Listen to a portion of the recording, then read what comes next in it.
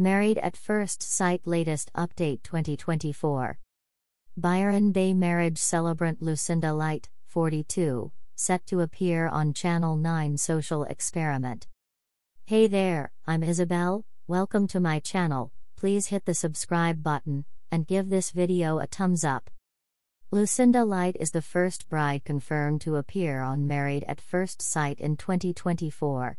The 42 year old Byron Bay based wedding celebrant appears carefree as she makes her debut in the first teaser for the much anticipated Channel 9 dating show. The clip begins with Lucinda telling producers that she is looking for a big burly character. I want somebody who is quite intelligent, she says in her audition clip. I do not want a bogan. If it's the right person, it would have to be so on point that we would be making love with existence.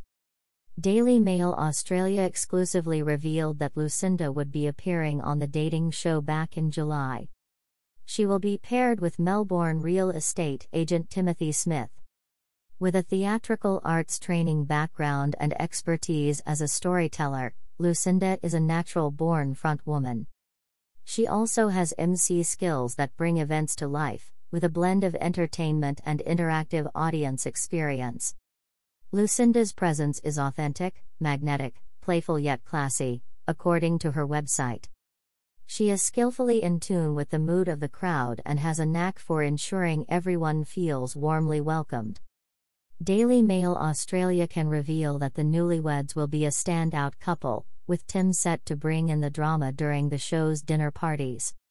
On set sources have let slip that their relationship is very hot and cold, but the pair are still riding through the experiment as the couples mark more than halfway into production.